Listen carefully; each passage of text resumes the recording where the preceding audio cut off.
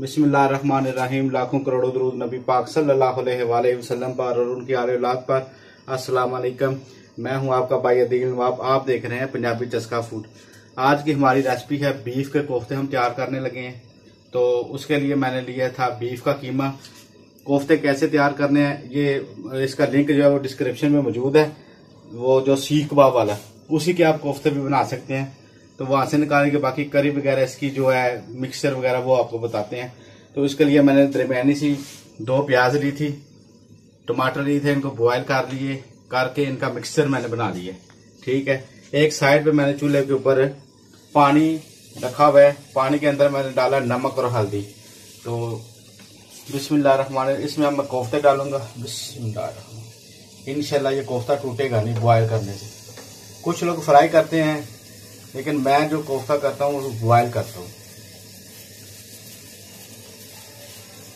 तो अगर आप हमारे चैनल पर नए हैं तो इसको सब्सक्राइब करें, साथ ही बेल आइकन के बटन को क्लिक करें। कोफ्ते मैंने पानी में डाल दिए हैं।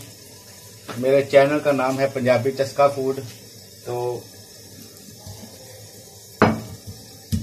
थोड़ी सी मैंने अदरक लिया है और थोड़ा सा मैंने लहसन लिया है। इसको मैं जब तक वो बॉयल होता है, इसको मैं तैयार कर देता हूँ, एक साइड पर मसाला इसका। तो मिलते हैं आपको चार से पाँच मिनट बाद। बिस्मिल्लाह हमारे जो कोफ्ते हैं, वो तैयार हो चुके हैं। अब इसको हम पानी से निकाल देंगे, इसका पानी जो है वेस्ट कर देंगे। बिस्मिल्लाह पानी इसका वेस्ट कर दिया।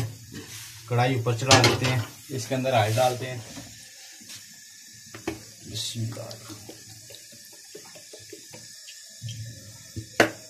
ऑयल गर्म हो ले फिर इसके अंदर हम डालेंगे अदरक और लहसुन का पेस्ट।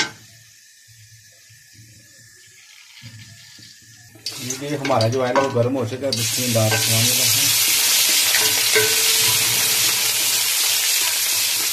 इसको ब्राउन करते हैं लाइट सा। लहसुन अदरक जो है ब्राउन हो चुका है तो करीब इसको थोड़ा सा भूनेंगे, साथ इसके अंदर हाफ़ टी स्पून नमक का डालेंगे। हाफ़ टी स्पून कुटी लाल मिर्च। एक चौथाई चम्मच जो है वो हल्दी की। इसको थोड़ा सा भूनेंगे, उसके बाद फिर इसमें कोफ्ते डाल के। मसाला पहले तैयार करेंगे, उसके बाद इसमें कोफ्ते डाल के भूनेंगे। तो मिलते हैं आपको थोड़ी सी देर के बाद। लीजिए कि हमारा जो मसाला है, वो बिल्कुल तैयार हो चुका है। इसमें हम डालेंगे कोफ्ते।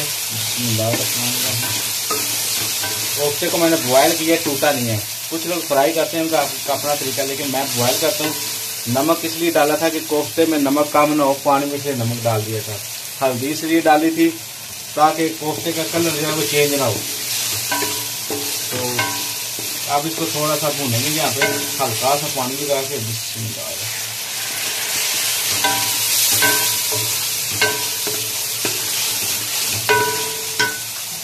साथ ही थोड़ा सा अदरक, हरी मिर्च और धनिया डाल देंगे यहाँ पे। कोफ्ता पहले तैयार हो चुका है। मजीद थोड़ा सा इसको पानी लगा के एक, दो मिनट और भूनेंगे।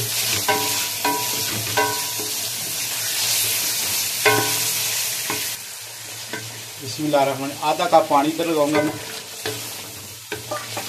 कोफ्ते जो पहले मैं थोड़ा थोड़ा पानी डाल के भूनता रहूँ, अब इसकी मैंने थोड़ी सी करी तैयार कर ली। साथ में इसमें गरम मसाला और सूखा धनिया कुटा हुआ मैं डालने लगा। थोड़ा थोड़ा सा।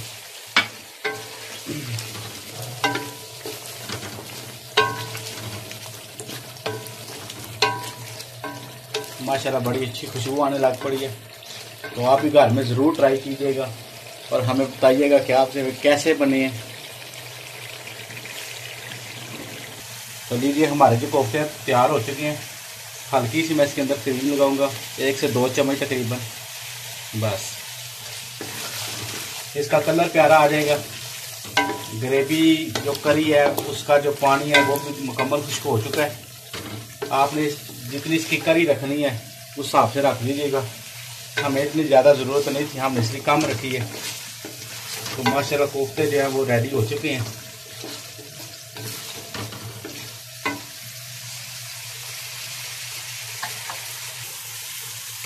लीजिए जी हमारे जो कोफ्ते हैं वो तैयार हो चुके हैं तो आप इसको हम डिश आउट करेंगे।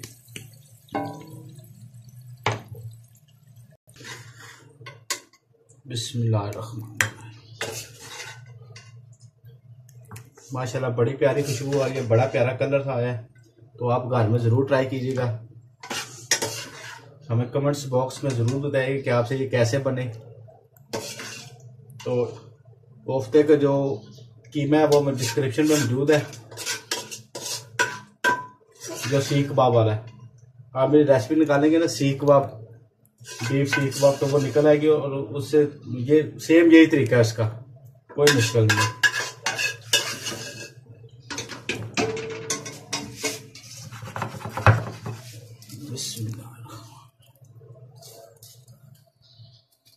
लीजिए जी माशाल्लाह, बड़ा प्यारा कलर आ रहा है। नेक्स्ट वीडियो तक हमको इजाज़त दीजिए। मिलेंगे एक नई वीडियो के साथ, नए दिन के साथ। तब तक के लिए अल्लाह हाफिज़।